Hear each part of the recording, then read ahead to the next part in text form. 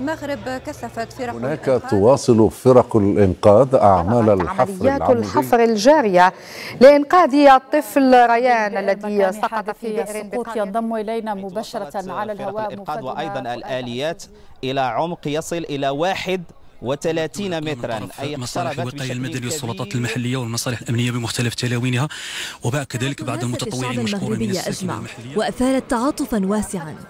أنقذوا الطفل ريان وعشرات من عناصر السلطات المحلية بأن الطفل ما زال على قيد الحياة إذ تم ربط هاتف مع حبل وإنزاله إلى البئر يطلعوا لي من تم حي يرزق.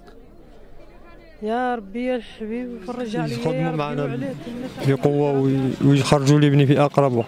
ما كرهتش أنا من هنا للعصر يكون معايا. حدث حبس أنفاس العالم. حدث وحد قلوب العالم أجمع.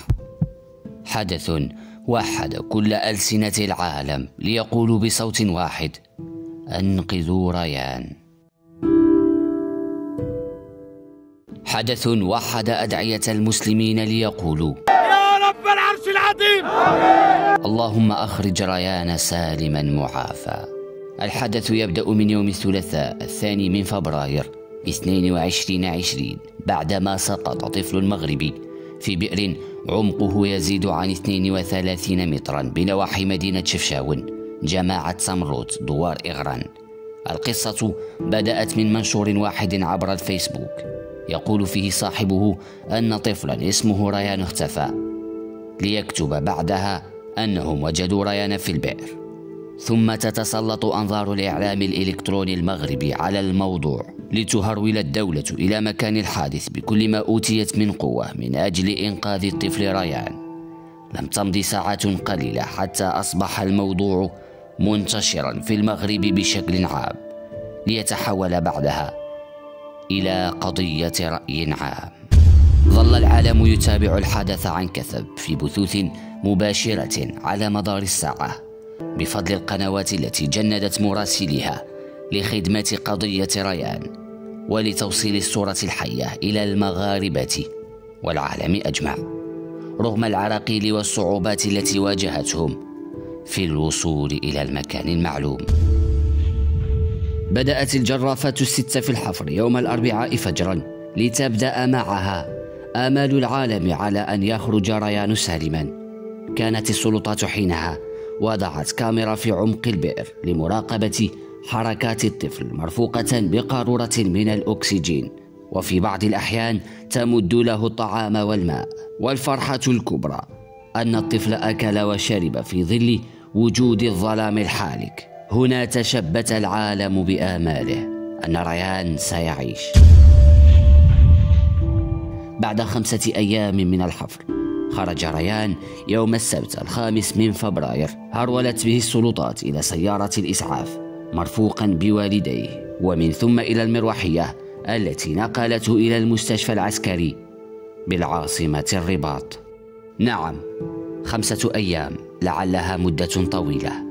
ولكننا رأينا بأعيننا كيف كانت تحدث انهيارات التربة والحجارة كلما اقتربوا من الطفل ريان. وكأن التراب أخذ عهدا على عاتقه ألا يعيد الطفل إلى أهله وإلى العالم. رغم هذا وذاك خرجت الدول النامية في بلاغات رسمية تشيد فيها بجهود المغرب المبذولة. وأشهر ما قيل أن المغرب حرك جبلا من مكانه. لأجل ابنه. العالم كان يشاهد لحظة الخروج. العالم أصبح سعيدا بخروج الطفل البريء إلا أن دقائق الفرحة كانت دقائق قليلة. ليصدر ديوان الملك المغربي بلاغا ينعي فيه أسرة الراحل ريان. كان ملك المغرب يتابع عن كثب ككل الناس. واتصل بوالدي الطفل من أجل العزاء واستفسارهما عن حالتهما والتخفيف عنهما وتقديم المساعدة. انصدم العالم بالخبر الذي انتشر في انصدم العالم بالخبر الذي انتشر كالنار في الهشيم.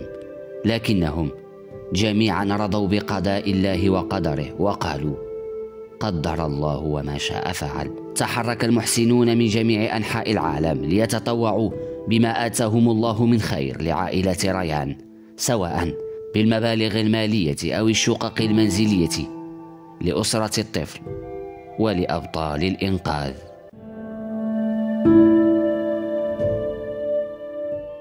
الأبطال. والداه اللذان حاربا الساعات والدقائق والثواني وتحليا بالصبر. العم علي الصحراوي واحد من أولئك الذين وهبوا حياتهم لريان واشتغل في الحفر طيلة خمسة أيام. رجال الوقاية المدنية الذين اشتغلوا بدون توقف على مدار الساعة.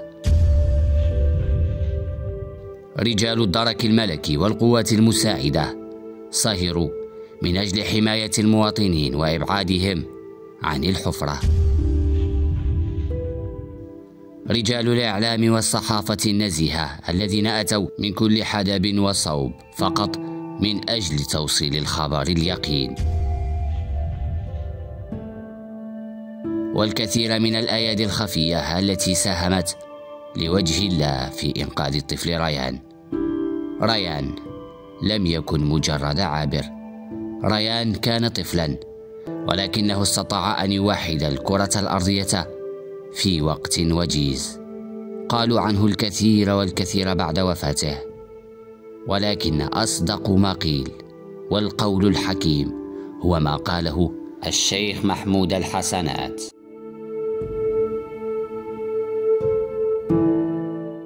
جاء ليذكركم أنكم أمة واحدة ورحل. ريان علمنا احتساب الوقت بطريقة أخرى. لنعيش معه في الخمسة أيام. الدقيقة كأنها عام. نعم استطاع ريان توحيد العالم رغم الصراعات السياسية. استطاع أن يوحد العالم رغم اختلاف الألوان والأجناس والأديان والأعراق. كان ريان رسالة ربانية للعالم. رحل ريان ولكنه ترك فينا روح الإنسانية وأحيا ضمائرنا وقلوبنا من جديد بعدما لوثتها أوساخ الحياة. صورته في أذهاننا ذكراه في ضمائرنا. ريان في قلوبنا إنا لله وإنا إليه راجعون.